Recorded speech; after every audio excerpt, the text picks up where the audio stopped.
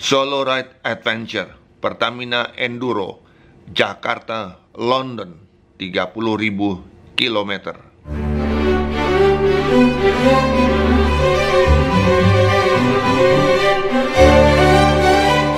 Ini adalah video rekaman Solo Ride Stephen Langitan bersama motor merah putih ketika tiba di kota Athena tepatnya ketika diterima atau disambut secara resmi oleh Duta Besar Republik Indonesia di KBRI Athena yaitu Bapak Ferry Adam Har beserta dengan jajaran staf KBRI yang ada.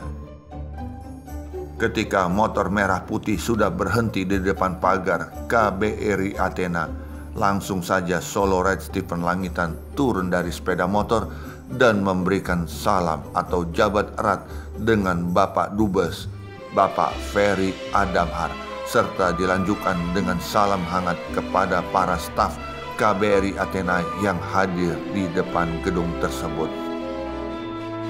Pada hari itu adalah Senin 2 Juli 2018 di mana Solorai Stephen Langitan merasakan suhu udara yang sangat panas di kota Athena. Ya, kehadiran motor merah putih sudah memasuki musim panas khususnya di negara Eropa sehingga terasa sekali hawa panasnya sudah seperti di negara Indonesia.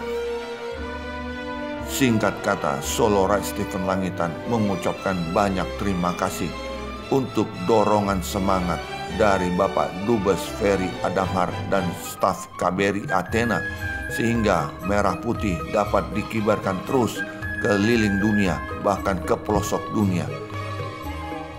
Usai berbincang-bincang sejenak dan berfoto bersama, kemudian kami semua langsung masuk ke dalam gedung KBRI Athena. Uh, motor merah putih kita solo ride adventure dari Jakarta sudah sampai di namanya di Athena, hari ini oleh Bapak Dubes uh, Republik Indonesia di Athena. Terima kasih Indonesia.